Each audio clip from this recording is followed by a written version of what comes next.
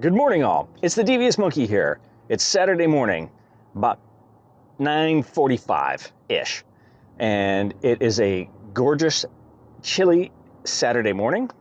It's about 55 degrees out, but not a cloud in the sky. And it's also VB Flea today, so I thought that I would go and take the XT4 with the new 16 to 80 f4 lens and get some shots. And also, of course, check out all the puppies that are happy to be out and about with all the peoples. First things first when I get there, though, is that I need to have breakfast and some bean. Let's head to VB Flea and check out some puppies and some people. Okay, the crowd is alive and kicking.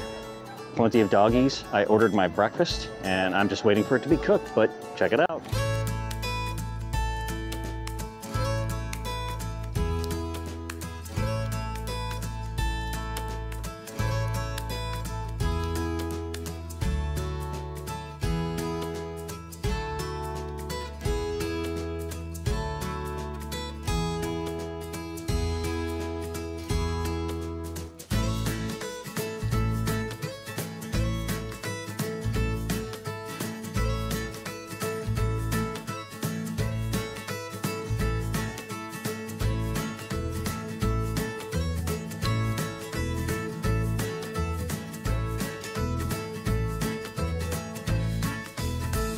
Once I'm done snarfing down this big ass sandwich, we'll head over to the flea markety side and then I'll just do a, a, a walkthrough.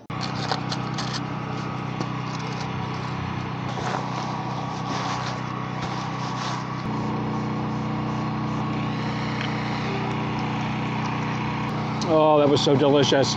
Yummy.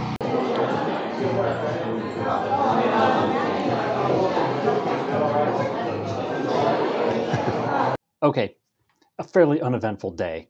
All I did was go to VB Flea for a little bit, and then I hung around home and did shit.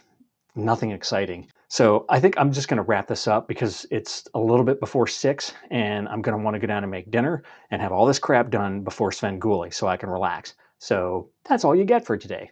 So if you have any comments, questions, or suggestions, leave them down below. As always, thanks for joining me. Be sure to like and subscribe. And remember, kids, forward and up.